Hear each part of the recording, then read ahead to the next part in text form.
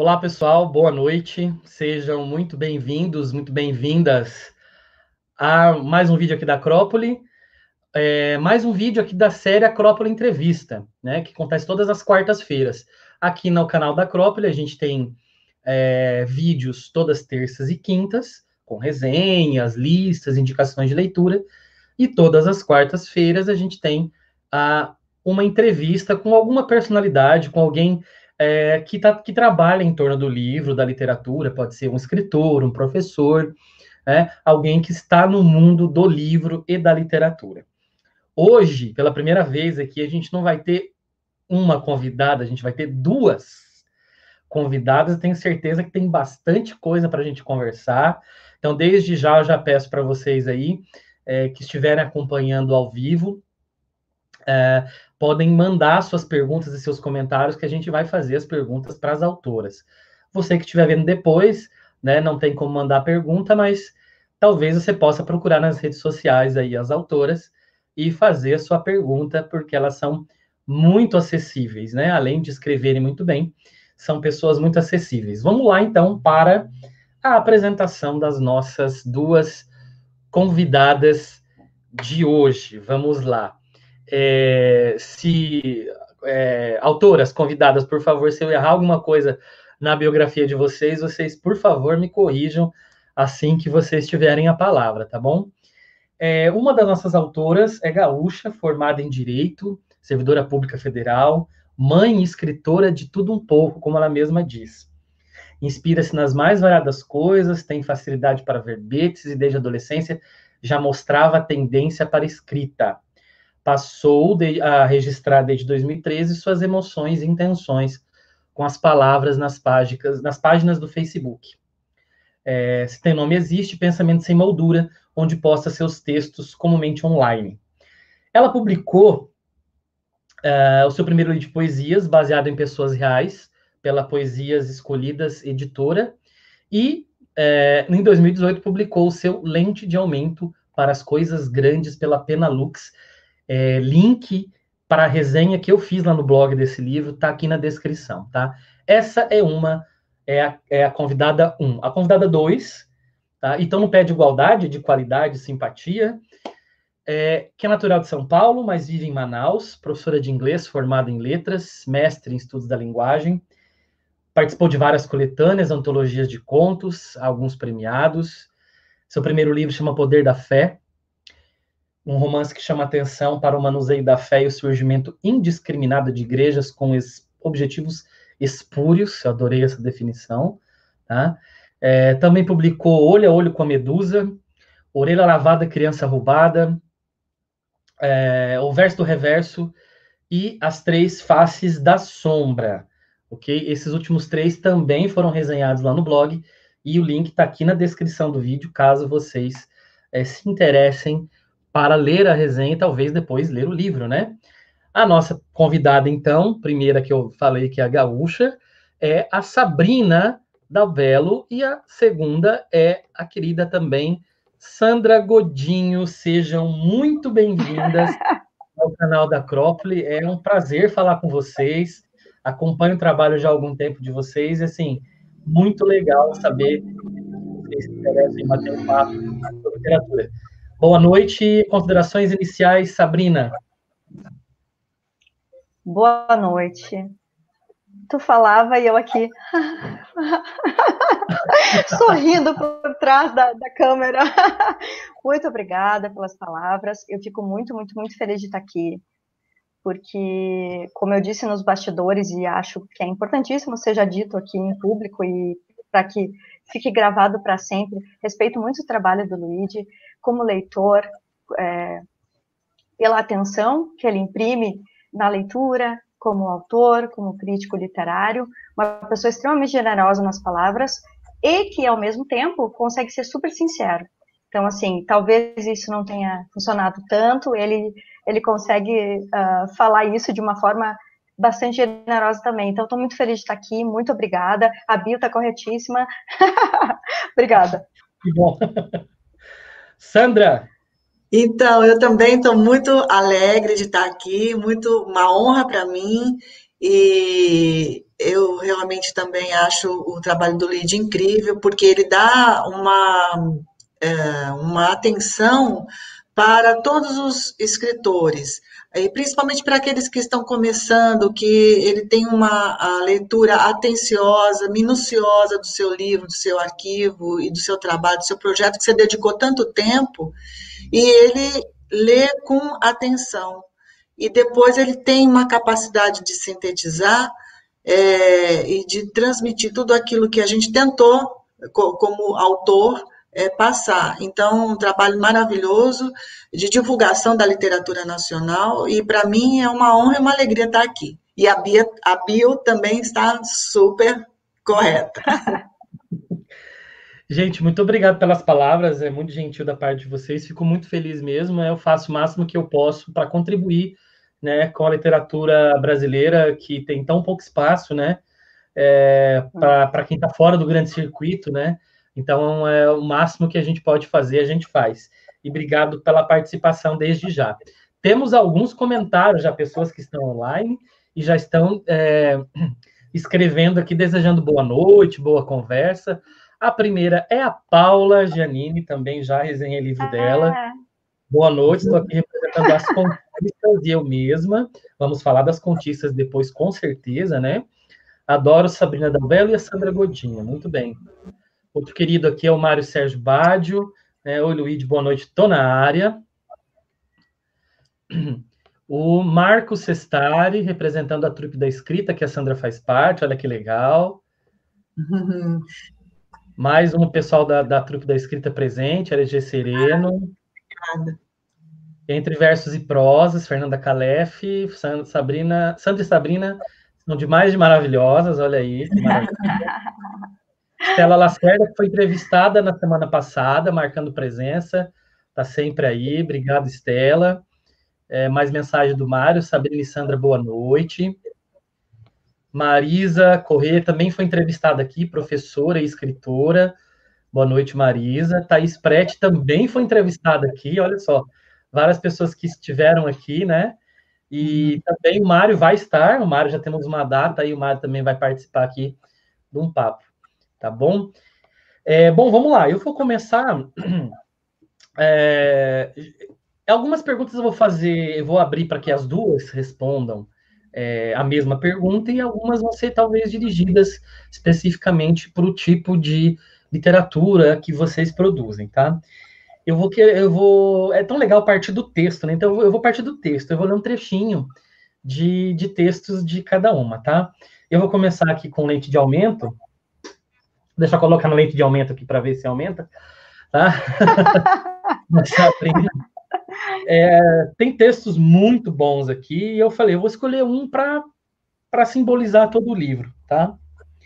É, e eu, eu escolhi o poema Subúrbio, tá? E daí, a partir da leitura, eu vou fazer uma pergunta para a Sabrina. Eu moro no subúrbio. Minha vizinhança é esfarrapada e luta. Não tem comida no prato pela letra. Dislexia com pobreza e medalhas de chocolate. Lá no alto ficam os grandes. Falam coisas esquisitas em livrarias famosas. Tem palavras de todo tipo. Mesa, unha, contrato, sol, mão, livro, papo, sardinha, mel, emoção.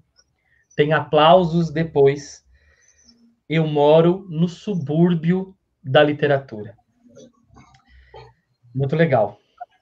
A pergunta é, uh, Sabrina, uh, hoje, né, quem publica por editoras menores é, a gente pode dizer que está no subúrbio da literatura?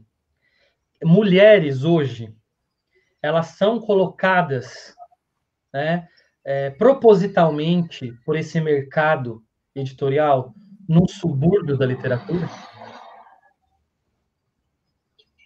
É, obrigada pela leitura, né?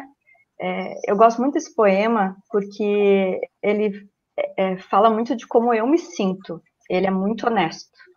E não raro eu eu vi é, realmente pessoas falando pato, bola, macaco, coração, nananã, aplausos depois, porque a pessoa é fulana, né? Então, assim, não, não, a minha crítica não é para o fulano, mas a minha crítica é aos olhos que não enxergam os outros, né? Ao espaço que os outros menores não têm. Com certeza, é, eu, eu, já falei isso numa outra oportunidade. Eu vi uma vez a Djamila Ribeiro falando é, em relação a, a, a, como se fosse uma, uma padronização né, dos autores. Então, a gente tem homem branco, mulher branca, é, uh, mulher negra, homem negro, e, e, a gente sabe que tem é, pessoas que nem mesmo são citadas, né? Enfim, então, assim, claro que as mulheres têm menos oportunidade do que os homens ainda, e a gente está aqui, a gente forma coletivo, a gente não pode uh, perder a oportunidade de uma entrevista como essa com o Luigi para falar sobre isso. E não é para falar as mulheres escrevem bem, nos, nos leiam. Não, é leiam também as mulheres, né? Escutem também o que as mulheres dizem. E para falar, né, no meu caso, mulher, e, e, eu me sinto sim. Eu sei que existe panelas, inclusive dentro das editoras independentes. Então, fulano, quando lança, é diferente de quando ciclano lança né? Então, cicrano, né? Que parece que é o correto, esse dia eu estava vendo. Não é ciclano, é cicrano. É. no Rio Grande do Sul, às vezes as pessoas falam errado, é, enfim. Então, acho que existe panela, sim. Uh, eu já conversei com Marcela Difa, né, nosso amigo em comum aqui, meu e da Sandra, né, é, sobre isso. E, e é isso. E eu ainda me sinto assim. Acho que é uma luta diária. E oportunidades como essa são preciosas de estar aqui falando sobre isso. Perfeito.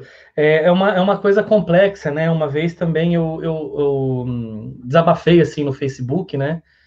É, dizendo que uma, tem algum, alguns. Uh, o sistema é meio viciado em algumas coisas, né? E eu percebo assim que, que, por exemplo, muita gente só lê quem ganhou o prêmio, né? E não tirando uhum. o mérito de quem vence o prêmio, mas deve ter ali 20 que talvez merecessem, e daí 19 são descartados em prol de apenas um livro, né? Então, esse, esse sistema que se autogere, dizer assim, olha, vamos ler só isso, vamos publicar e dar preferência para aquele ao invés daquela ou daquele outro, por esse tipo de literatura ou outro. Então, quando eu li esse teu poema, eu falei assim, hum, é o que eu sinto, né? Eu acho que em uhum. instâncias diferentes, eu acho que você, por ser mulher, provavelmente vai sentir mais fortemente ainda, né? É, do, do, que eu, mas eu uhum. também senti um pouco ali, falei, poxa, é, eu acho que, a, que, que é, é, é, compartilhável entre muitos escritores essa, esse, essa sensação, né? Eu posso fazer um adendo aí? Claro, Sandra, à vontade. É, assim, eu acho que, por exemplo, no século XIX, a gente sabia que era sabido que muitas uh, escritoras, Jane Austen, as irmãos, as irmãs Brontë, elas usavam pseudônimos masculinos para elas poderem publicar. E eu acho que isso não acontece ainda hoje em dia. Acho que a gente já melhorou. Inclusive, acho que está tendo um protagonismo feminino um pouquinho é, mais uh, favorável, né? As mulheres, as minorias. E eu acho que o poema ele fala assim sobre as minorias de todos os tipos, que as mulheres ainda, apesar de, desse protagonismo feminino estar melhorando com os últimos com os últimos tempos, a gente ainda sente que há um certo preconceito com relação à literatura feminina. Muitos comentam e falam, ah, ah é literatura de mulherzinha, né, como, como algo menor, ou a literatura é, é, feminina. Não, a literatura de mulheres, ela não tem esse tom uhum. é, preconceituoso, pejorativo que a gente vê impregnado hoje em dia. Então, eu acho que, apesar de ter havido uma uh, melhora com o decorrer do tempo, ainda a gente busca uma representatividade no mercado editorial que a gente nunca teve até então. Eu acho que a gente ainda busca essa igualdade de condição, igualdade de, de valores, que eu acho que a gente, a nossa literatura, a literatura é, de mulheres, ela não é menor do que a literatura de homens, né? Poderia ser agregado, né? A, a literatura é tão diversa, eu acho que a diversidade é que dá o tom da, da do nosso povo, é. do, da, que nos representa. Então, eu acho que a, diversidade tem que ser também é, prerrogativa da literatura. E a gente tem um país tão diverso, né? Eu acho que acho que a pluralidade, a diversidade deve vir em qualquer literatura, mas eu acho que na nossa, assim, é uma coisa que eu acho que ela deveria ser imperativa, né? Assim, olha, é, vamos lá. É, é inerente né? ao nosso povo. Os tipos de literatura que são possíveis, né? É. Mas querem, querem complementar? Quer complementar, Sabrina, alguma coisa? Não, eu dizer que essa diversidade é inerente ao nosso povo, né? Então, ela existe. Então, assim, negar é, é uma farsa. A negação é uma farsa. É. E a gente está em momentos de negação, né? De negacionismo. Falando em negação, é. em momentos, eu peguei um trecho bem espinhoso aqui da Sandra, de um texto que eu gosto muito, apesar de ser um texto tristíssimo. Né? Aliás, a, a, Sandra escreve umas coisas assim que às vezes dá uma facada no coração, que a gente fica até meio. Né? Eu estou tá. com o livro dela aqui, tá. o verso do reverso, que também saiu pela Penalux, olha só, né? Todos com Penalux. Olha. também com o livro da, da Sandra aí. E o, o texto que eu peguei é As Três Ondas, né? É claro que não vai dar para ler o conto todo, embora não seja um conto longo, né? Mas está falando ali das, uh, do rompimento da barragem em Mariana, né? Que é um, um escândalo que aconteceu, né? Todo mundo sabe recentemente aí. Eu vou ler um trechinho aqui, é, e daí a partir daí eu vou te fazer uma pergunta, tá? E é claro, depois se a Sabrina ficar é, sentir à vontade, ela pode complementar, né? É, uhum. O tsunami acabou pescando também Maria, com seu caniço e anzol, sua paixão, esperando peixe fresco para servir logo mais no jantar. Sileno, o contador de causos e copos de cervejas, também foi apanhado desavisado, dentro do carro da empresa no qual trabalhava, a meio do caminho para a mineradora. E Edinaldo, o operador da escavadeira. E Daniel, que morreu no mesmo dia em que completava o quinto mês da morte da mãe, e tantos outros. O vira-lata latia enquanto minha boca saboreava por antecipação um gosto de sangue. E a perna claudicante no terreno arenoso não se firmava, temendo que ia encontrar pela frente cada perambular que me acenava o luto enquanto o vento enlouquecido anunciava a tragédia em curso. E a lama abaixo no vale correndo até me ultrapassar em urgência. Sílica, areia e ferro, criando capa, cimento, mata, peixe, réptil e mamífero, cimentando casebres e cacarecos. Essa imagem é bem forte, né, dela vindo e, e destruindo tudo, né? É, eu gosto dessa escrita, Sandra, dessa escrita meio de urgência, assim, sabe? que algum fato que seja muito forte socialmente, ele encontre na, na literatura tão logo ele aconteça, ele, ele apareça nas páginas, né? Como agora as pessoas vêm escrevendo já sobre, sobre coronavírus, né? É uma coisa que vai ficar muito marcada, as pessoas vão escrever muito sobre isso. E o que eu quero dizer é o seguinte, eu vi um link aqui, né? Mas aí é uma coisa de leitor que vai encontrando coisas na cabeça, né? É, eu senti essa lama, essa lama aqui, claro, uma lama concreta, né? Mas eu também entendo a, a, essa lama como algo metafórico também, né? Me parece que é, é, é, uma, é, uma, é, uma, é uma síntese de um país que soterra as coisas, sabe?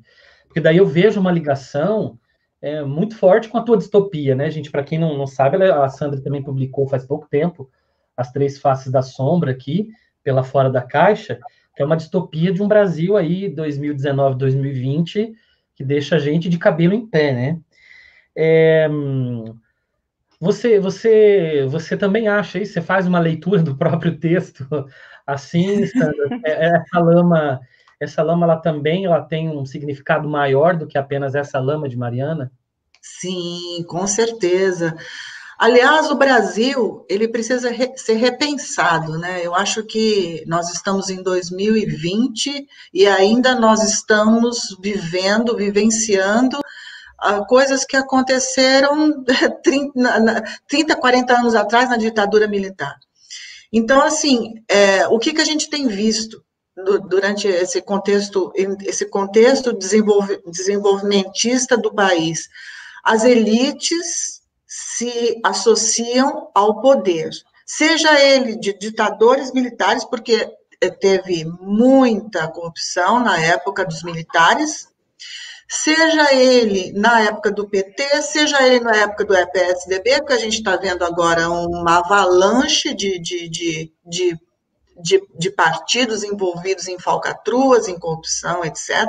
Então, a, as elites, elas se associam ao poder. Então, o, e o que acontece? É o povo que sofre. É isso que a gente tem visto ao longo do, de todos esses tempos, de todas essas, é, essas esses governos, que, aliás, é um desgoverno, né? E essa tentativa da, do povo sobreviver à míngua.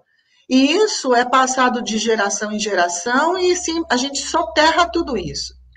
Então, assim, é, eu comecei, quando eu comecei a escrita é, recentemente, né, tem uns seis anos para cá que eu resolvi levar a minha escrita mais a sério, e eu tive a oportunidade de ler o livro da Cynthia Krinler, e aquilo, aquele livro, é, todos os abismos, os abismos convidam para um mergulho. Aquele livro mexeu tanto comigo que eu falei: não, a nossa escrita ela tem que ser uma arma também. A gente tem a, a gente tem o privilégio de lidar com as palavras, então que as palavras reverberem, que as palavras elas denunciem, porque isso, para mim, é, é, é, é, um absurdo que acontece, né? E eu sou muito. É, assim, eu me, eu me toco muito com isso.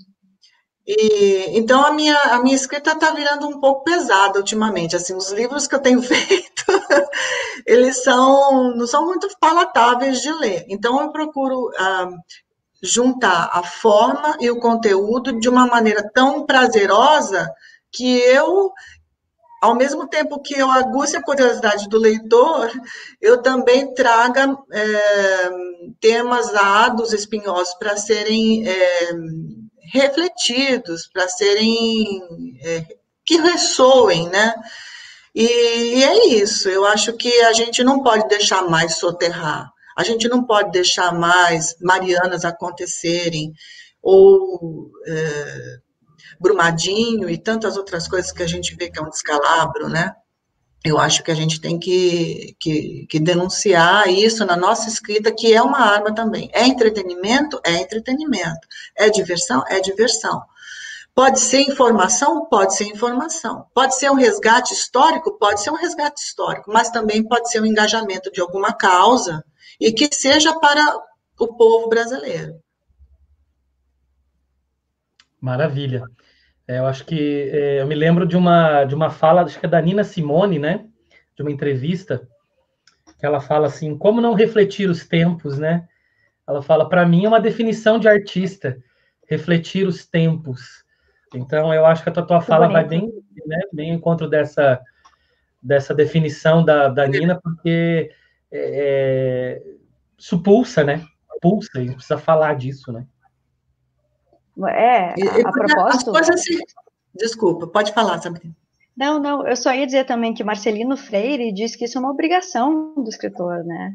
É, poema sobre amor, ele fala poema que tu, é, que tu encontra as palavras no Google, esse poema não, não é poema, esse, esse, esse, essa literatura não é literatura, é literatura de Google. Ele fala assim, né?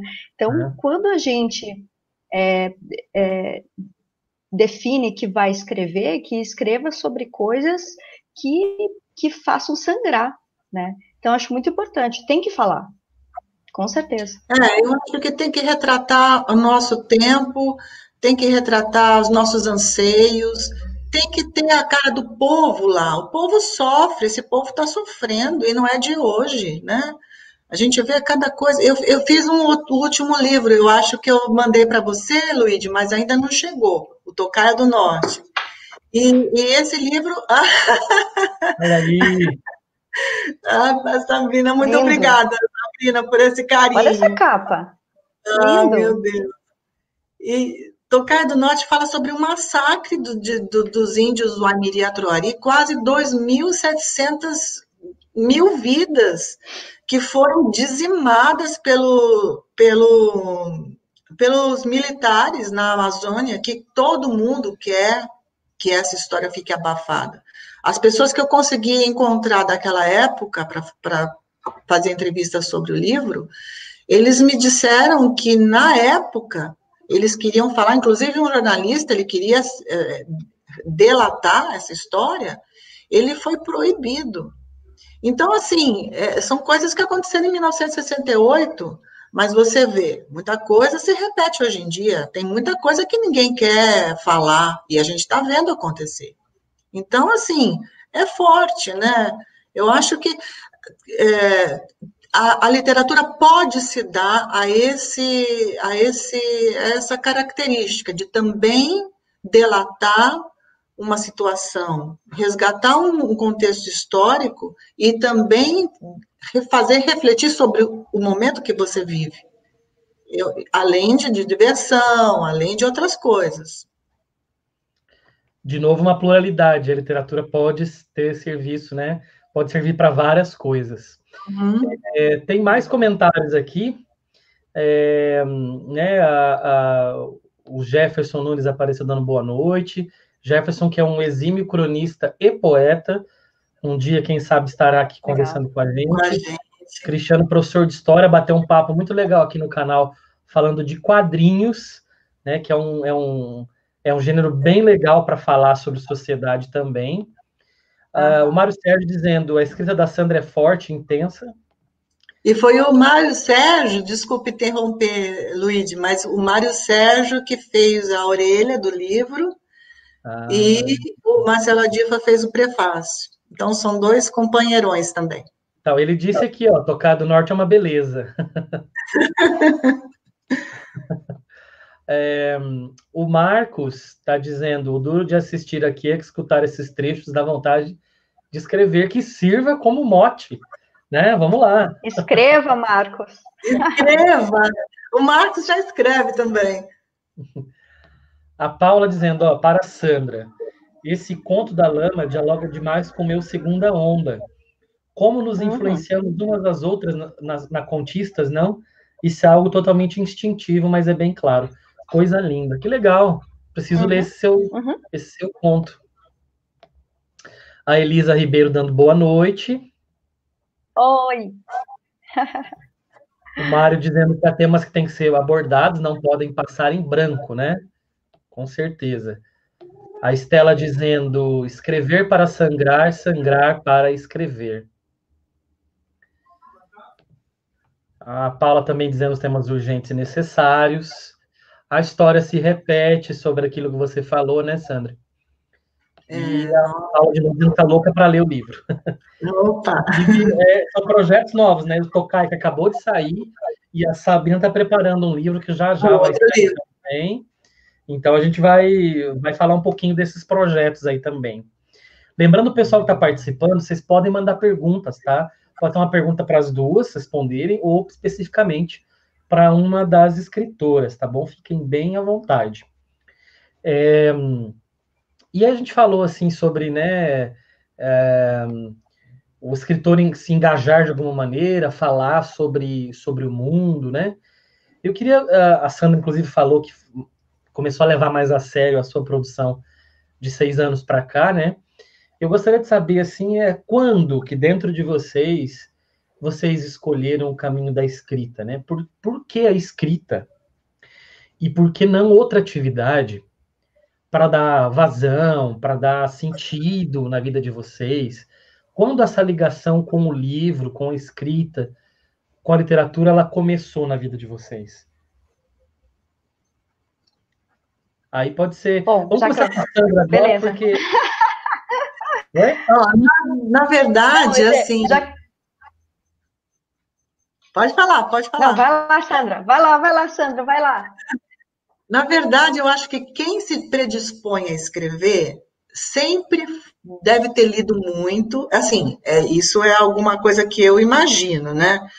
Mas as, do que eu ouço, às vezes, as, nas entrevistas de outros colegas, todo mundo leu bastante e, se, e, e sempre, assim, se arriscou a escrever durante o o, seu, o seu tempo de vida, né?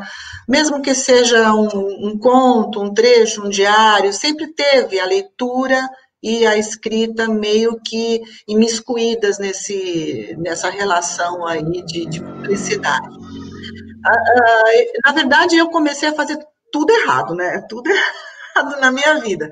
Eu comecei fazendo arquitetura, é verdade, e, e quase no final já estava na FAO da USP, eu falei, ai meu Deus, isso daí não é para mim. Eu gosto muito de desenhar e de pintar, naquela época eu gostava muito de fazer isso, mas eu vi que não era aquilo que me, me dava satisfação.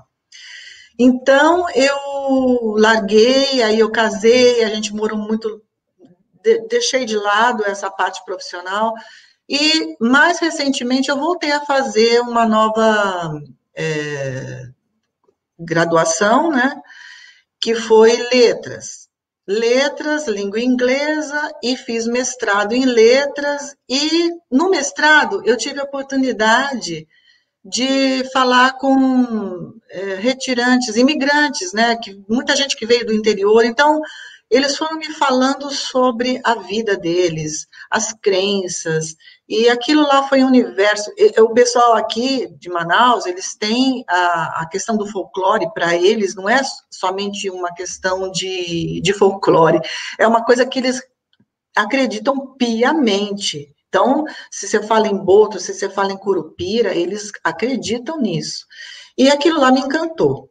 Então eu vi que eu tinha feito tudo errado. Eu fiz mesmo o, o, o mestrado foi em letras, estudos da linguagem, e aquilo achei muito pobre perto da, da literatura, né? Porque a literatura tem tem muita, muita, muitas nuances atrás da literatura, né? Tem a parte ideológica, tem a parte daquilo que você vivencia, tem a parte daquilo que você experiencia até com outras pessoas, coisas que você ouviu.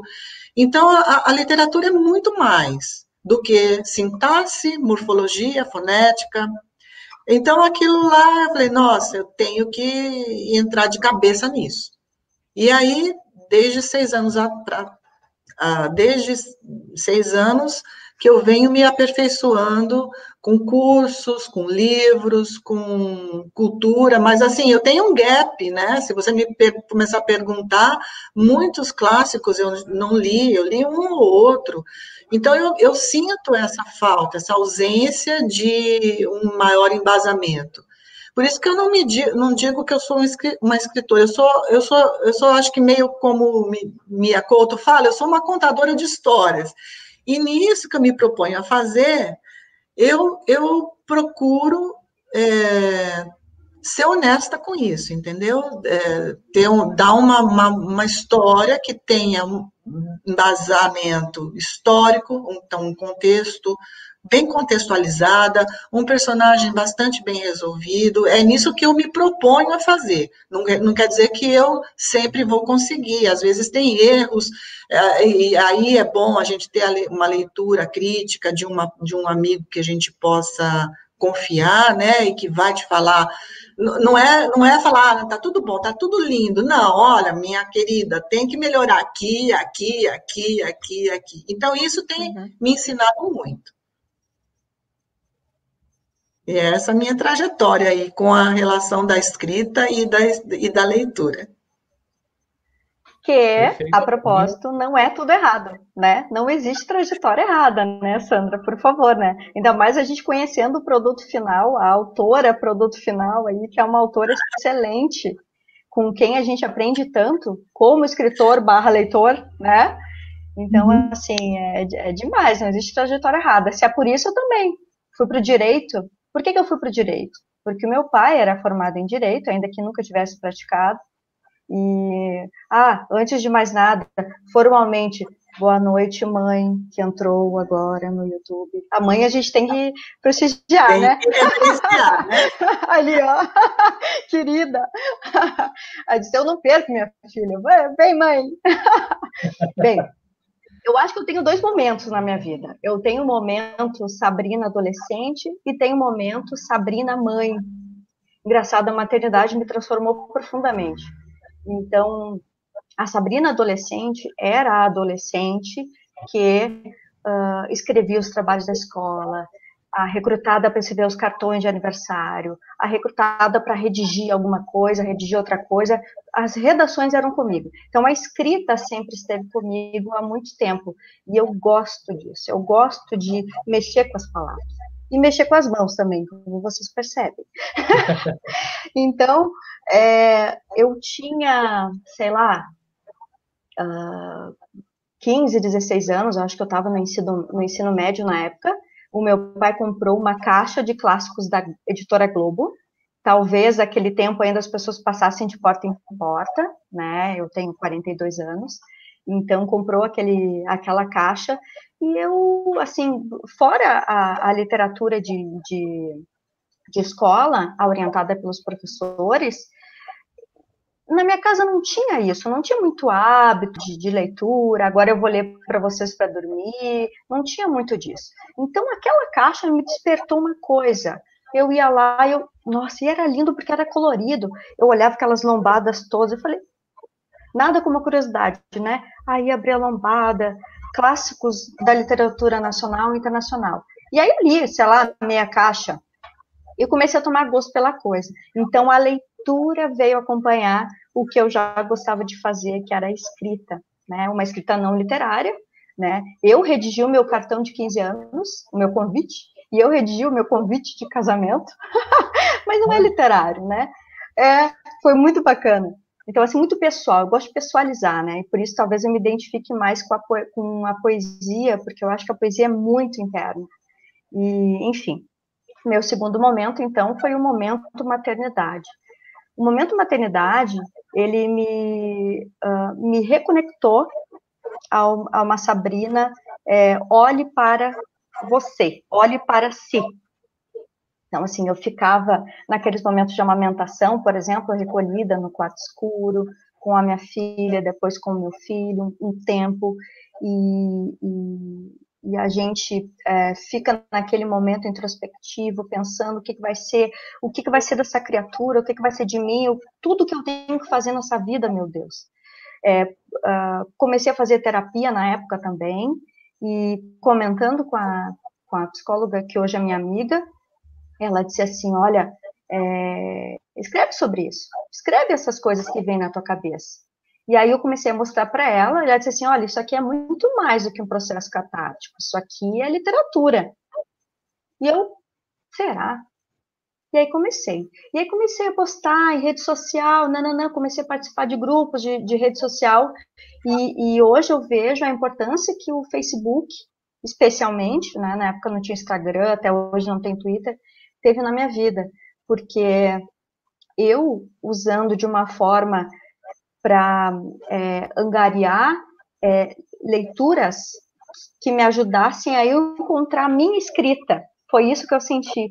Então, comecei a ler muita gente, muito escritor contemporâneo, escritor experiente, não experiente, os do subúrbio, principalmente. Então, é com essas pessoas que eu me identifico. A gente veio do quarto escuro da maternidade. Então, assim, a gente não estava na, na, no, na Bienal, a gente estava no quarto escuro, a gente estava no grupo do Facebook. Então, para mim, isso foi muito importante. E hoje, participo de grupos, eu diria até de grupo, que é o grupo das contistas, que a gente consegue ter essa troca, como a Paula falou, simbiótica, praticamente. E a gente lê e escreve, e hoje também a gente está no processo de gravação de vídeos da, da literatura escrita por mulheres, no caso a nossa, e também de convidados, enfim, e isso só acrescenta. Então, esse foi o meu processo. É, eu também concordo que a gente, é, é, quando, como eu estava falando anteriormente, né, a gente experiencia e a gente lê muita coisa de outras pessoas, e eu acho que tudo isso serve de intertexto para você formar uma base como leitor. Porque eu acho que a gente sempre pega alguma coisa daqui, daqui, dali, de um, de outro, e tem muita gente boa escrevendo ultimamente, hoje em dia, muito autor contemporâneo que não tem a visibilidade que deveria ter, porque é iniciante, porque é, não né, não, não tá no meio, porque às vezes você, é, por exemplo, estar é, junto com alguma pessoa que você que, que, possa te facilitar a vida nesse mercado editorial é muito bom e, e, e muito bem-vindo, né? Mas assim, eu acho que a, a gente acaba levando esse, esse intertexto de várias de vários é, escritores que nos formam. É a leitura que nos dá essa sensibilidade para poder enxergar as, nuances né, da, da sociedade, das pessoas, dos personagens que a gente cria, é por aí. E o, o, o, blog das contistas, o blog da trupe da escrita, que eu também participo, é, eu acho que é, um, é muito show a gente poder estar tá junto, né? De tá, da gente estar tá trocando informação, estar tá trocando texto, eu acho que isso engrandece qualquer um. Maravilha, gente. Para você que está passando por aí, chegou nesse vídeo, está meio perdido, perdida, não sabe o que está acontecendo, estou conversando com as escritoras Sabrina Nalbela e Sandra Coutinho, um bate-papo muito legal. Estou aqui com os livros delas, olha aqui o livro da, da Sabrina, estou aqui com o livro... Vou ajudar, vou ajudar. Um livros da, da Sandra, isso, obrigado, Sabrina. Mostrando os livros aí, você pode participar da nossa live mandando perguntas, tá? É, fazendo um parênteses também para fazer um, um merchan aqui, você que não conhece o, o, blog, o canal da Acrópole, temos vídeos todas terças e quintas, e entrevistas às quartas. Se inscreva no canal. Tem um blog também que tem resenhas todas segundas e sextas. Resenhas dos livros das autoras estão aqui na descrição desse vídeo e vocês podem acessar, tá? E temos uma pergunta aqui uma pergunta, isso, mostra aí. É. Tem uma, uma pergunta muito legal é, da Marisa, tá? E vamos lá, então, ó. Pergunta direcionada a Sandra, mas claro que Sabrina será estudada com prazer. Como cenário literário do Norte? É, o Norte tem autores importantes, como Dalcídio Jurandir, mas quase não se ouve falar deles, exceção de Milton Ratum, claro, que ocupou o espaço que Márcio Souza ocupava décadas atrás. É, essa falta de visibilidade vem sendo enfrentada? E como está, então? Ah, ela está complementando o, o, começo, né? Que faltou uma palavra, acho. Que é como está o cenário literário do norte. É. é. pois é, a, aqui a gente não tem, e eu, eu me, me sinto falta disso, né? Dos autores, a gente até, até tem um, como é que se fala, um site, né? Um, no Facebook tem um grupo, mas é, eu, eu não sei, assim, olha, a gente tem muita gente boa, por exemplo, Márcio Souza, Odenildo Sena, Isis Negreiros, é, é, inclusive o, teve um, um mesmo na parte do audiovisual, acho que teve um, um, um filme que ganhou cinco Kikitos agora no, no, no, Festival de Gramado. Mas, é, então, eu até vou, vou eu estou falando rápido, mas assim, tem muita gente boa aqui, não são só esses escritores. Tenório Teles, Tiago de, eh, Tiago de Mello, apesar de que ele é um poeta que já está bastante assim com idade, né? Mas também é, é ícone aqui, né? E assim, é, eu me ressinto dessa falta da gente formar um grupo forte, porque aqui é, tem muita coisa bacana, tem muita coisa bacana, inclusive histórias que a gente ouve falar aqui do, do do, do lugar, né, do local, e que eu tô, eu tô encantada, né? Tem, tem é, é, Paulo Jacob também, é um, um, judeu que escreve com bastante um, uma língua, um linguajar bastante regional, é, tem muita gente boa, mas não há, não há assim uma turma entrosada. Se há eu, é, eu, eu, não estou eu, eu não estou assim a par, não estou entrosada com eles, entendeu? Mas eu, eu ressinto. E, e, é, e, e, com a relação às mulheres, eu acho que a gente poderia até criar um mulherio das letras aqui no Amazonas, que eu acho que, que é uma coisa que está faltando. Olha a Paula falando sobre né, o, do norte, mas radicado no sudeste, o Rudinei Borges dos Santos. Uhum, então, tem muita gente boa. É, é eu diria mais. Eu lembraria Mata da Marta Cortesão, né, Marta que é Cortesão, de ter fé, e mesmo hoje... Exato. Exatamente, mesmo Exato. hoje, estando na Espanha, ela exalta a literatura amazonense, tem um livro espetacular com linguagem é, amazônica, terra, muito bonito. Né? É, Banzeiro Manso, é, Banzeiro Manso. Banzeiro Manso.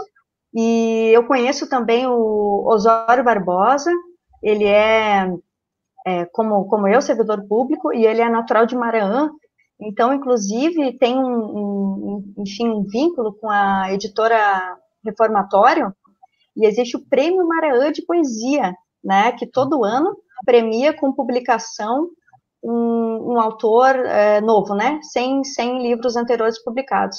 Com, é, com homenagem, então, à cidade de Marã.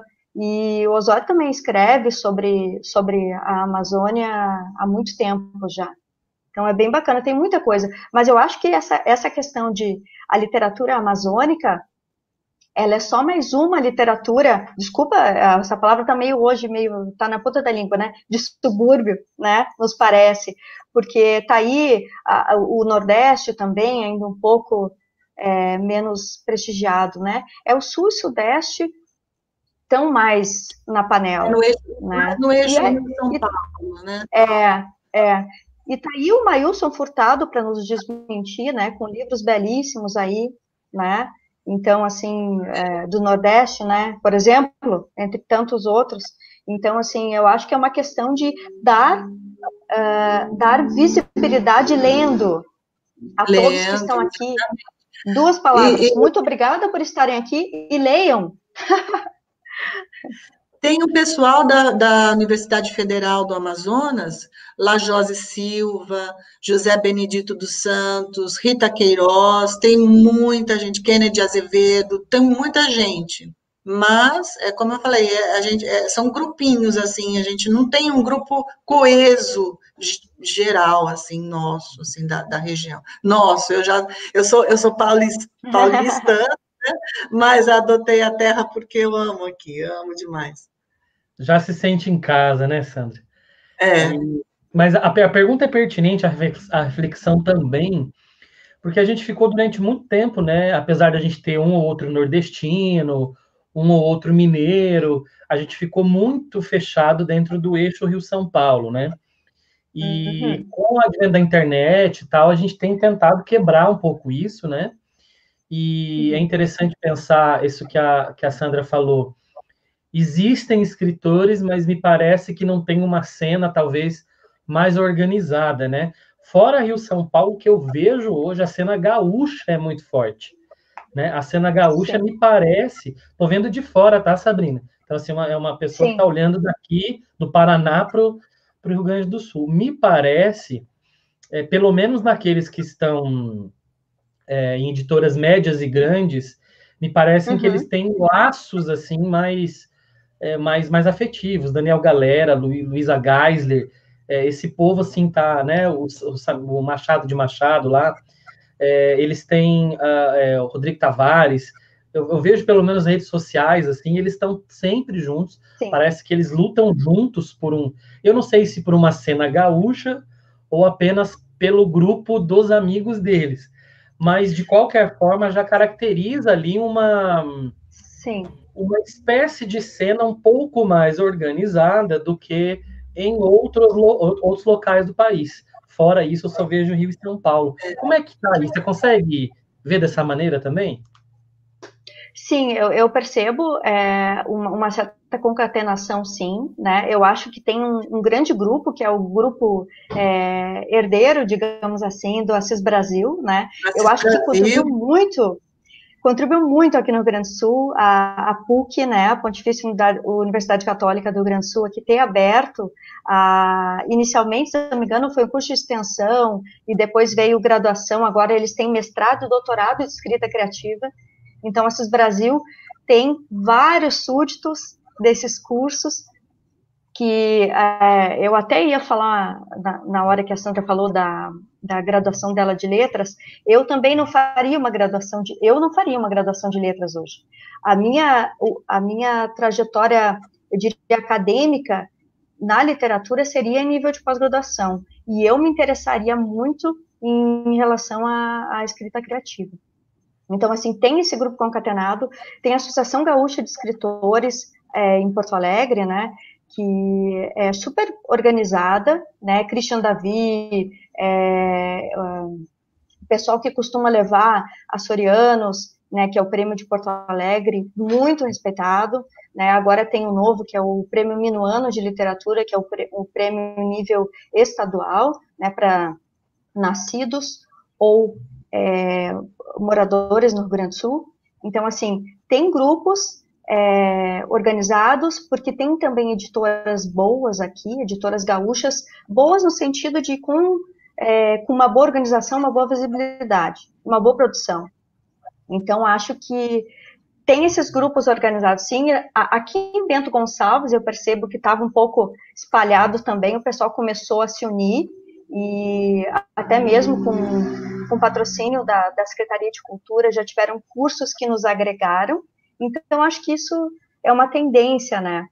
Em segundo lugar, no sul está tá o Paraná, né? Eu vejo muita pouca produção, muito, muito poucos é, autores catarinenses mesmo.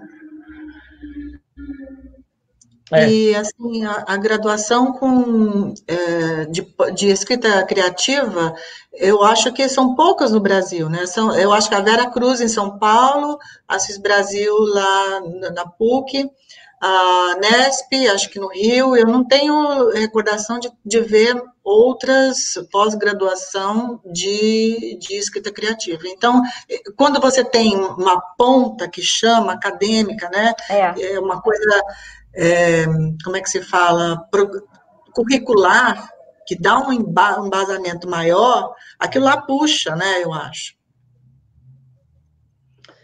Exatamente, né? Interessante, porque há muito tempo atrás, né, é, é, não, não, é, só o Assis Brasil mesmo, assim, que está há muito tempo, mas fora, fora ele, assim, a gente não ouvia falar muito sobre, sobre mesmo cursos rápidos e oficinas de escrita, né? Uhum. E hoje em dia a gente ouve falar muito isso, né? Já que não existe uma formação, pelo menos não existia, né?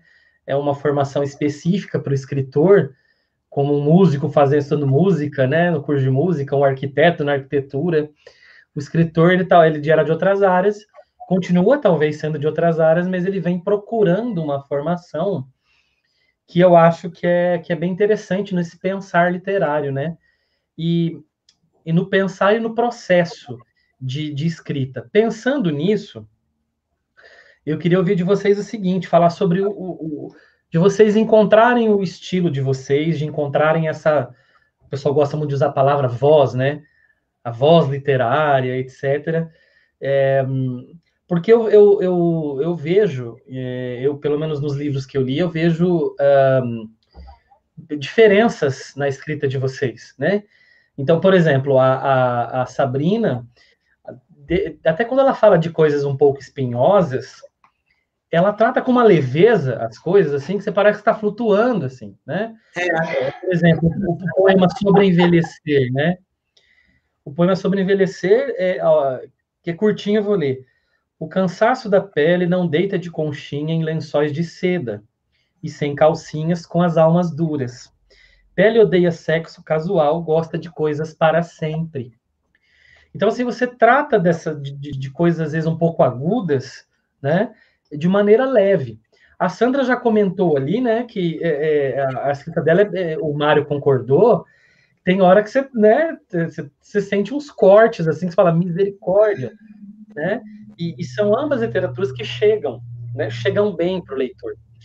Eu queria saber de vocês, e a gente pode inverter agora, começa com a Sabrina, né, é, se, se isso é pensado na hora do processo de escrita, né, vocês pensam muito sobre isso, ou é uma coisa que já está é, quase inerte, né, já está quase inconsciente, de tanto que vocês já, já escrevem, isso sai com uma naturalidade, esse estilo de vocês?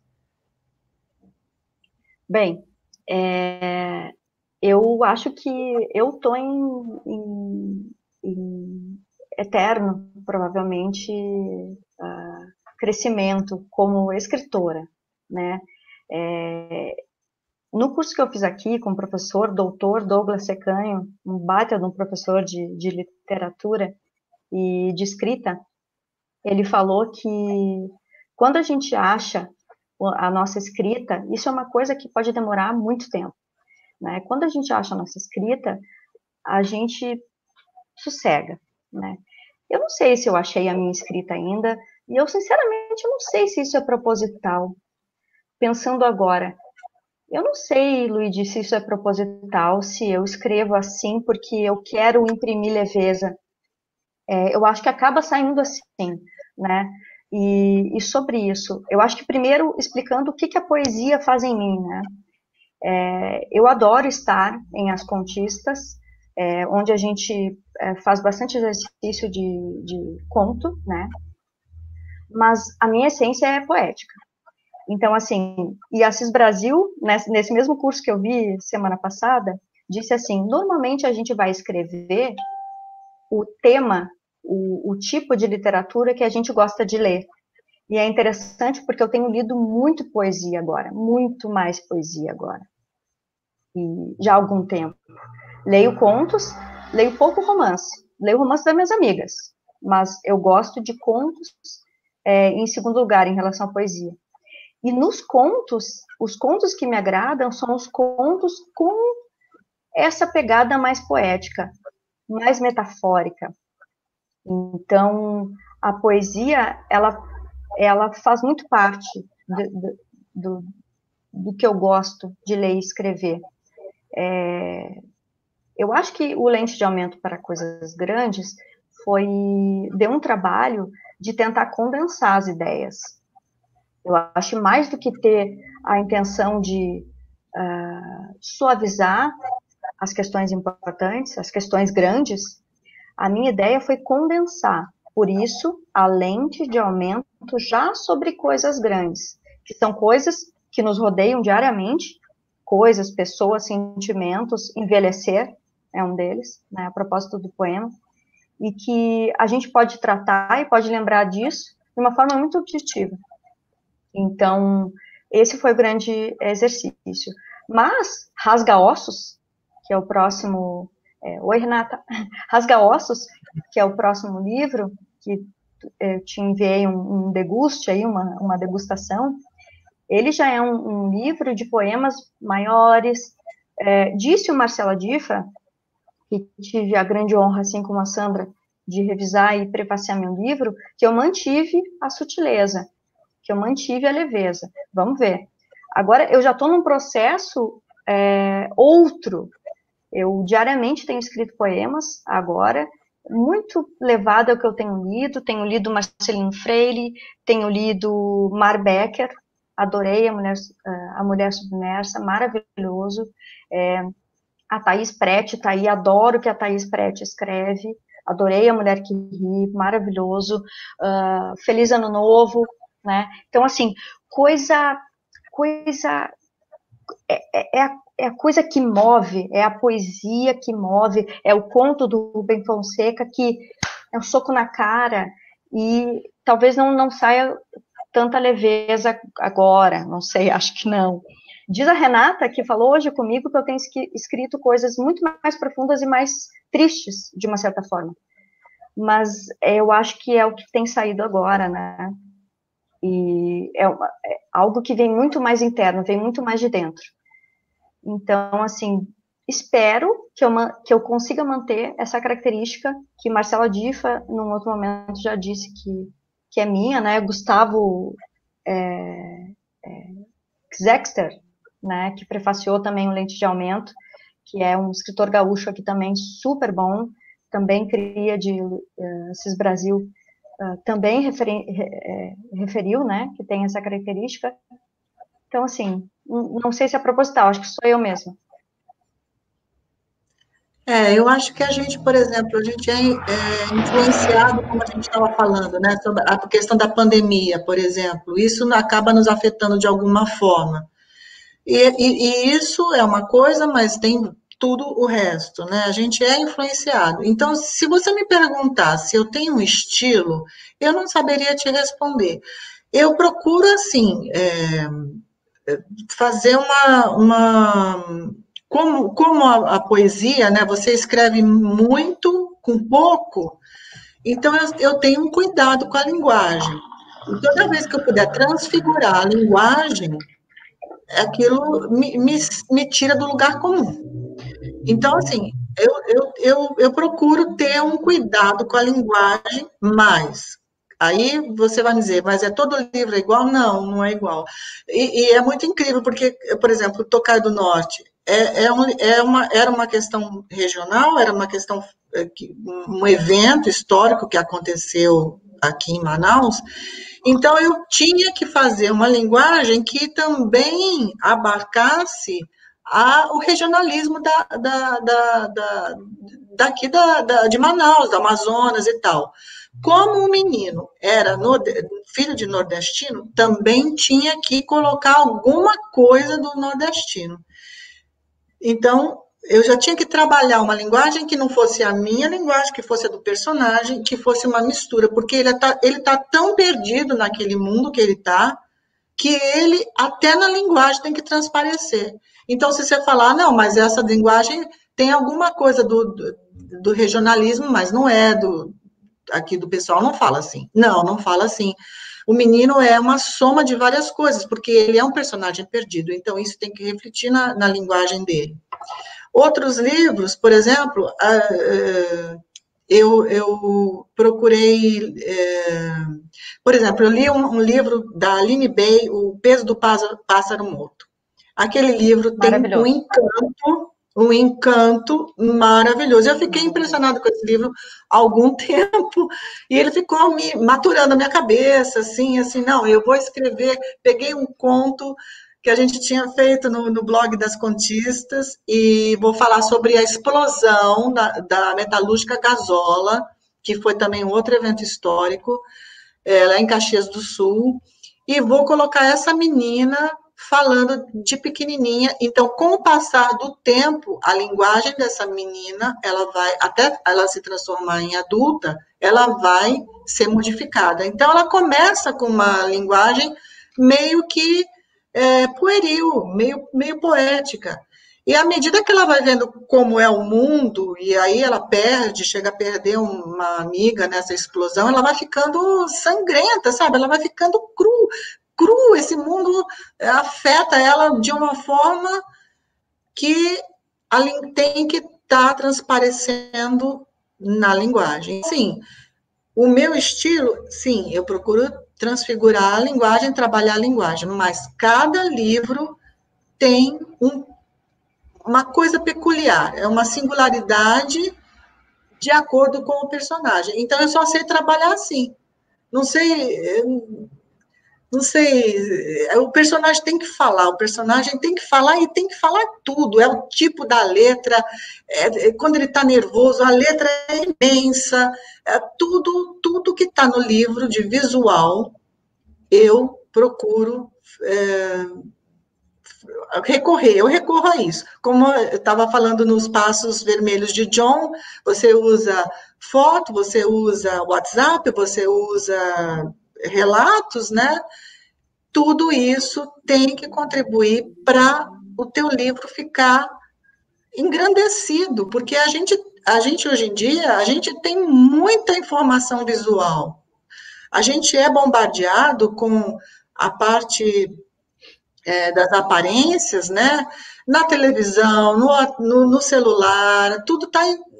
A gente, o nosso olhar, ele se encarrega para aquilo que é mais bonito, né? Então, tudo que, que pode te influenciar, os, os seus cinco sentidos, ele tem que transparecer no teu livro. E aí você abre mão de tudo. Tudo que está de ferramenta que pode te dar uma singularidade na obra que você vai escrever. É assim que eu penso, né? Maravilha, maravilha. Adorei as respostas. Gente, lembrando que vocês podem ainda participar. A gente está indo para a parte final né, do, da nossa, nossa conversa, mas ainda dá tempo de fazer perguntas para as nossas convidadas, tá? E isso aí, escrevam aí. e aproveitando também a deixa, é, que tem várias é, pessoas que estão acompanhando que são envolvidas com vocês é, em um projeto, né? Eu gostaria de saber um pouco mais sobre, para que vocês falassem um pouco, então, para o público, o que é esse projeto, como é que vocês se envolvem nele, né? Eu peguei um trechinho lá do, do, do, do, do site mesmo, que está escrito assim, ó, entre aspas. É, idealizado por Bianca Machado, nasceu da paixão de algumas amigas pela escrita e a necessidade de um espaço que registrasse o pensamento da mulher no século XXI. Nossas emoções, vivências, o sonho, a loucura, nossa realidade, o que vive e passeia entre a aventura e o devaneio, tá? Esse é uma apresentação que tem lá. Passei um pouco pelo já pelo site, já li alguns textos. É, vi que tem um canal também no, no, no, no YouTube, né? Então, é, me parece bem interessante. Então, como é que vocês é, se engajam nesse projeto? Vocês falaram antes que, é, acho que foi a Sabrina que falou, depois da Sandra corroborou, dessa coisa de né, lutar e fazer literatura e mostrar e dar diversidade, e às vezes os coletivos podem ajudar. Como que um coletivo como As Contistas pode ser importante num momento como esse, por exemplo? Vou falar, vou falar. É, historicamente, então, o nosso coletivo é, é a Elisa tem razão. O, o, a minha poética mudou bastante do lente para o rasga-ossos, é verdade. Bem, é, começou, então, algumas dissidentes, dissidentes não, na verdade, muitas ainda continuam, participando dos desafios do, do grupo Entre Contos, né, que é um grupo de desafio de contos. Aí, algumas mulheres, né, envolvidas nesse, no, nos desafios, enfim, pensaram assim, ah, quem sabe a gente não, não faz os nossos próprios desafios também, a gente não uh, tem um blog nosso, é, talvez tenha algum pouco de panela em algumas coisas, mas não sei, vamos, vamos tentar uma coisa diferente, vamos. Aí a Bia Machado, que é editora também da, da editora Caligo, né, é, mora no Mato Grosso do Sul, convidou algumas outras autoras do Entre Contos, e nós formamos, então, já faz quatro anos, se não me engano, as Contistas. Inicialmente teve o blog, um grupo fechado de Facebook, onde a gente começou a postar contos, assim, mas um pouco descomprometidamente, né? Ah, uh, que a gente estava começando a se organizar. Final da história. Hoje, o que acontece? Hoje, nós somos mais ou menos 15 a 20 mulheres, né? Agora a gente passou por um processo de reformulação, algumas saíram, entraram outras, mas o grupo básico ainda é o mesmo, de mais ou menos 10, 12 ainda o mesmo. Eu, Sandra, aí somos umas das, das mais antigas, né? Junto com a Paula, com a Bianca, com a Renata, com a Priscila, com a Amanda, com a Cláudia, com a Kinda e, e com a Ana Maria de Portugal. A Fernanda veio acrescentar esses dias com, com participações belíssimas, né? Agora a nossa nossa contista é uma das mais atuantes. Então, no blog nós é, acabamos é, percebendo que seria interessante até para nosso desenvolvimento, porque o nosso foco é o nosso desenvolvimento como autora, né? Então, por quê? Uh, a gente posta textos ali que as outras vão comentar e comentar de uma forma crítica, comentar de uma forma, olha, agora eu estou percebendo que a tua escrita está mais para cá, mais para lá, legal e tal, legal e tal. Nos propomos desafios também, é, que o que menos importa é ganhar, perder, enfim, porque a gente se desafia, né? Isso é o mais legal. Uma lendo a outra, acaba que a gente, nossa, o que eu, que eu aprendo com, com essas meninas, não vou nomear, com todas aqui, né? Lendo coisas que elas escrevem e trazendo isso para minha escrita, trazendo isso para o meu desenvolvimento como, como escritora e podendo falar sobre elas com a boca cheia de alegria e podendo indicar elas para a leitura para todos que quiserem ler coisas boas. Então, assim, depois do, do, do blog, a gente desenvolveu, então, o YouTube, canal As Contistas, onde a gente pega trechos do que a gente escreve, ou poemas, ou, enfim, coisas nossas, grava, e temos aí editoras de vídeos maravilhosas no grupo, que desenvolvem vídeos belíssimos, e a gente tem postado e tem tido um retorno muito bacana. Então, a gente tem crescido muito como leitora e como escritora, né? Com, é, lendo escritoras contemporâneas aí de uma qualidade muito boa. E não é porque eu estou aqui com a Sandra e porque as meninas estão aí. De verdade, escritoras, mulheres muito boas, mesmo. É, e o Trupe da Escrita, e a Fernanda também é participante desse grupo, é um grupo de, de escritores e que surgiu do Vivendo de Inventar, Vivendo de Inventar, do, do, do André Bianco, e também da, da carreira literária, e mais alguns outros, assim, meio esporádicos, mas que a gente acabou formando um grupo é, dentro, um grupo dentro do grupo, né, que, que, que a gente chegou a publicar também é, agora eles estão publicando uma antologia sobre pequenices, né, que é, são coisas voltadas para textos voltados para infanto juvenil. E, e, e, o Entrecontos também, que eu acho que é uma, um grupo já bem maior e, e, as críticas são mais mais duras, né? Porque não tem, porque mulher, ela, acho que ela tem uma delicadeza na hora de comentar. O Entrecontos não, é porrada.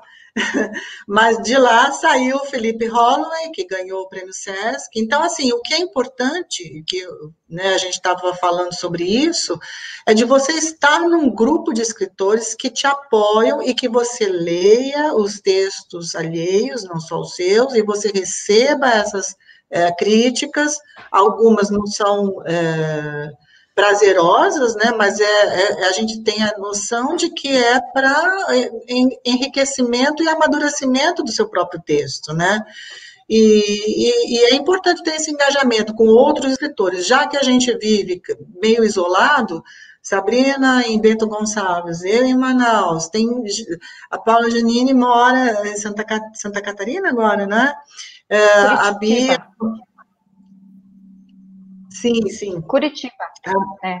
Bia, Mato Grosso do Sul, a Fernanda mora fora. Então, a gente só encontra, e isso a rede social possibilitou, né? Esse encontro online é muito benéfico, porque a gente consegue ficar juntas e trocar ideias e tudo. Então, é, tem sido bastante prazeroso e proveitoso.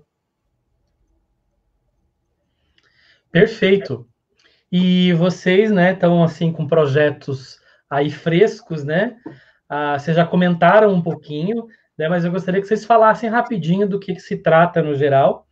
É, a Sandra com o Tocaia do Norte, né? Que já foi recém-lançado. E a Sabrina com o Rasga Ossos, que está para sair aí, né? Ambos pela Pena Lux, inclusive. Um abraço para os nossos editores lá, né? O Wilson Gorge e o Tonho França, que faz, fazem sempre um trabalho muito legal. Maravilhoso, maravilhoso. De, de atendimento bom. e acolhimento do leitor, do autor, E, e, assim, a edição do livro é impecável, né? Sempre muito cuidadoso, sempre te respondendo online na hora, né? Enfim, é, eu, eu, já falei um pouco sobre o Tokai do Norte, eu acho que eu prefiro que a Sabrina fale dela. Sabrina fale do dela. Que está Minas, Minas de, de, de impressão. É, eu tô, eu tô com aquela, aquele friozinho na barriga de não ter visto ainda diagramado nem a capa, né? Porque parece que a, a, a moça que está trabalhando com isso, infelizmente, está cuidando da irmã com Covid. Então, esses dias o Tonho me antecipou. É, infelizmente, né? São coisas do, do momento, né? São coisas que acontecem. E, mas olha, é, Mário Sérgio tem toda a razão. A edição tem sido muito boa, as capas têm sido lindas, uma mais bonita do que a outra, de dar inveja, muita editora grande aí, né? Muita editora com, com renome. E estou muito feliz com o projeto. A Elisa, uh, que é uma colega nossa contista, em quem eu super confio, uma das minhas melhores amigas, é, fez a leitura. Crítica barra amiga barra é, se eu não gostar, vou falar. Isso também é muito legal no nosso coletivo, porque nós somos amigas. Então, assim, eu tive algumas questões, né, de algumas interpretações aí que fizeram dos meus poemas e dei uma chorada e a Paula e a Elisa me ajudaram, me confortaram. então, então foi muito legal. E, e, a Elisa já tinha me falado isso, né? A poética é totalmente diferente, né? Como eu já falei para vocês aqui. Eu falo de, de eu, eu, tento falar muito de metáforas, né? E a questão do reconhecimento. Então, assim, é, poemas que brincam até com, com as palavras, assim, relacionando uma mulher de lenço uh, na cabeça uh, por conta de ter câncer e uma mulher de, com lenço na cabeça por conta de trabalhar numa padaria que faz fritura.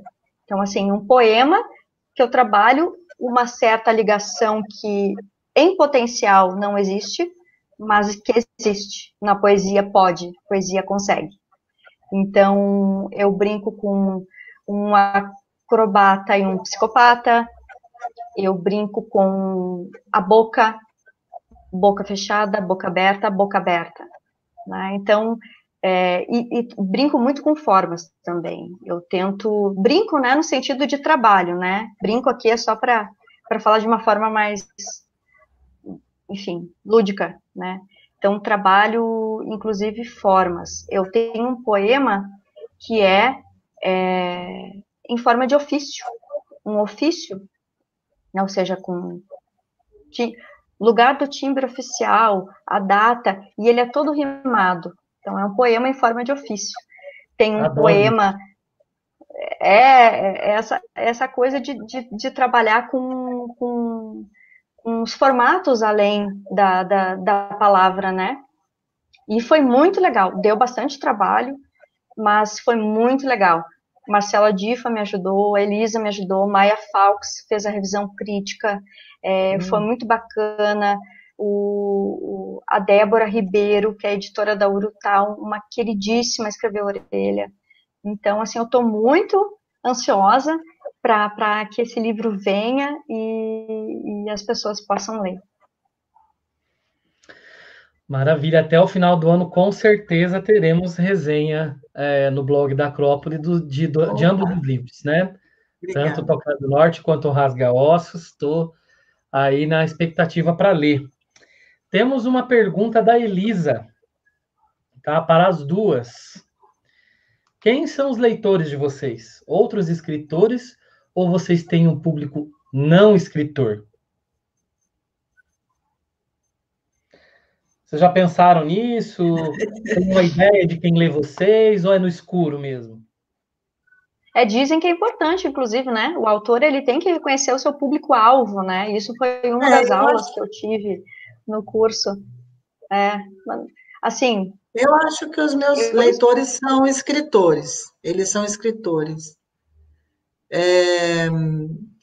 E é difícil, né, você formar leitor, não é uma coisa muito fácil, porque, inclusive, o trabalho de escritor é um trabalho solitário, né, e, e, e, não sei, eu acho que, que são escritores. Eu não fiz nenhuma enquete, mas eu acho que são escritores também. É, e eu, eu tenho mais uma questão aqui em relação a, a, a quem tá, é, quem é menos lido, né? A poesia aqui é, ainda é menos lida, se a gente for voltar lá no papo do subúrbio, né? Então, eu fico muito feliz, eu tenho leitores escritores, com certeza, mas tenho leitores não escritores, sim. E eu fico muito, muito, muito feliz quando alguém me escreve. Essa semana, por exemplo, duas pessoas me escreveram. Deixa eu compartilhar isso com vocês. Eu não gosto de poesia. Eu leio a tua e gosto. Gente, isso não tem é, é, não tem né? palavra assim e não é Valeu. nem algo que eu tenha que agradecer valeu o livro eu tenho que dizer obrigada por ler poesia e uma coisa que é eu defendo com unhas e dentes muito uma coisa que eu defendo com unhas e dentes porque eu falo de, de, de cadeira a poesia ela as pessoas já, é, cara feia, ai, não gosto, ai, é difícil, ai, é esquisito, o que, que adianta rimar se eu não entendi nada? A, a, a minha mãe mesmo, quantas vezes disse, ah, minha filha, é muito bonitinho, mas a mãe não entendeu. Existe uma poesia para todo mundo. Existe um poeta que vai escrever e vai te atingir. Porque a poesia que funciona é a poesia que te faz sentir que te faz sentir o que tu vai sentir, não é o que ela quis que tu sentisse. Então, dê uma chance, leia poesia. Não gostei do lente de aumento para coisas grandes, tenta uh, Fernando Pessoa, tenta Ana Cristina César, tenta é, Hilda Ilch. Vai tentando, vai tentando. Vai que uma hora vai, alguém vai escrever uma poesia que tu, meu Deus, esse poema hoje é como eu me sinto, né? Tão bom quando aquela, aquela leitura cai como uma luva, né? E ouvir isso é muito legal. Então, talvez eu tenha angariado aí pessoas para o lado da poesia que não apreciassem. Talvez por, por, por serem meus amigos, ainda bem, né? Então, talvez meus leitores são os meus amigos. Leit é, escritores e não escritores. São os meus amigos, exato. É, Estou lembrando aqui de dois, dois grandes poetas aqui também da, da, da, de, da região né, da Amazonas, a Miriam Scott com Mulheres Chovem, ah, que fala sim. sobre o universo feminino, e Carlos Almir também, ele foi também publicado na, na Argentina, então é, eu acho que, como a Sabrina falou, para cada, cada escritor, cada poeta fala de um determinado universo, né? E você sempre vai conseguir um ou outro que leia a sua, que, que, que tenha essa empatia com o universo que você criou e é aquele que ele está entendendo. Então, eu acho que tem para todos os jeitos. O negócio é isso, é a gente diversificar para poder conseguir a empatia e leitores. Eu acho que serve é bem por aí esse caminho. Maravilha. Gente, estamos chegando do final do nosso bate-papo. Vou fazer uma última pergunta para as nossas autoras. Eu queria já de antemão, né, antes, mesmo antes de terminar, agradecer vocês, é, as autoras, primeiro, por terem aceitado esse convite aqui de conversar comigo. É muito legal poder bater um papo com é, colegas de escrita, né? E, e, poder falar com as autoras cujos livros eu li. Então, isso é, é muito gostoso. Espero que para vocês seja tão legal quanto é para mim, né? Porque eu me divirto muito e aprendo muito. É, repetindo, a Acrópole Revisitada, né? Eu não tenho, eu não tenho nenhum ganho para o trabalho que eu faço, eu sou professor, mas o máximo que eu posso, posso fazer para divulgar os escritores, faço resenhas lá no blog, é, se você é autor, pode me mandar um livro, se você quiser. Né? Eu faço resenhas aqui no canal. Todas as quartas-feiras tem entrevistas. Então, se você puder aí divulgar entre os amigos, se inscrever e dar aquele like para a gente aumentar aí a, a, é, o alcance do canal. O alcance. Tá E, queridas, isso aí, ó. Se inscreve aí, clica aí. Se inscreva. Peraí, um legalzinho e um assim. Isso. Sandra e Sabrina, então, para a gente fechar. É, a gente falou sobre várias dificuldades da escrita, né? Às vezes a gente tem aí a bolha, de, às vezes só os a gente, talvez só os escritores ou quase sempre os escritores que nos leem, né? Escritor lendo escritor. É, taxação possível do livro aí que pode acontecer, né? É, é, livrarias falindo, uh, cheio de aplicativo de streaming e o mundo imagético que privilegia talvez o cinema e a série, ou videozinhos de TikTok, etc. Né? É, escrever nesse mundo me parece muito complexo. A pergunta é: por que continuar escrevendo? Olha, eu escrevo para me sentir viva. É, do, é, o meu jeito de posicionar no mundo. Se, eu se me tirar a literatura, não sobra nada. Eu te falo, você é uma pessoa muito depressiva, não sei o que vai acontecer comigo. Eu não consigo fazer alguma outra coisa que não seja isso. Eu preciso. É, e também por umas questões pessoais, não é, não é dizer que a gente coloca no papel tudo que acontece com a gente, mas é, ajuda muito. É, perdi minha mãe recentemente, estava entrando num quadro de depressão, e, e a literatura me salvou, então. É, problemas, problemas né, com, com relação à família e tal, e então eu é, é, é, o meu modo de posicionar no mundo, é o meu modo de, de, de, de reagir ao mundo, porque é, é, um mundo meio opressor, né? Tanta coisa que a gente está vendo ultimamente com relação à, cultura, à educação, à literatura, à arte. Então, assim, é, é o meu modo de dizer, olha, eu estou aqui, é sou resistência. E por que, que eu persisto nisso? Porque é, existe, por exemplo, a Miriam Scott, que a gente estava comentando, ela faz um trabalho maravilhoso de divulgar nas escolas. Então, assim, é, você começa a cativar, a, e ela faz um trabalho também com, não é só poesia, ela, ela quer dizer, ela também faz um trabalho voltado para uh, infanto-juvenil. Então, ela faz muita divulgação na escola. E por que, que é importante a escola? Porque a escola é que dá voz. É, é, é a escola é, é, é, o, é o berço, né? Se você conseguir captar um leitorzinho lá para seu livrinho de história, você já vai estar tá fazendo com que a porta da, de uma literatura mais adulta esteja aberta.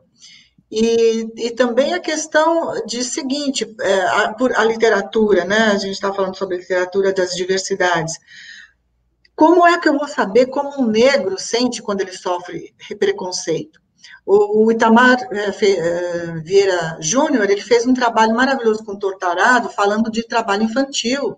Então, como é essa pessoa que mora na zona rural? Então, como eu vou saber se eu só vivo dentro da cidade? Se eu sou branca e eu não consigo ver outra coisa a não ser o meu mundo. Então, a literatura serve para você dar. Uh, canalizar essa, essa, essa a, canalizar essas minorias para seu conhecimento e para dar voz a tudo isso, entendeu? Tem muita, muita coisa boa aí. LGBT, e aí eu acho que todas devem ter a, a, mesma visibilidade, eu acho que todas são importantes, e é isso, a literatura, ela faz o outro sentir aquilo que você normalmente não sentiria, é, é, é, a, é a vivência da alteridade. Eu acho isso importante. Então, por isso que a gente nunca deve desistir. É, eu, eu escrevo porque eu preciso.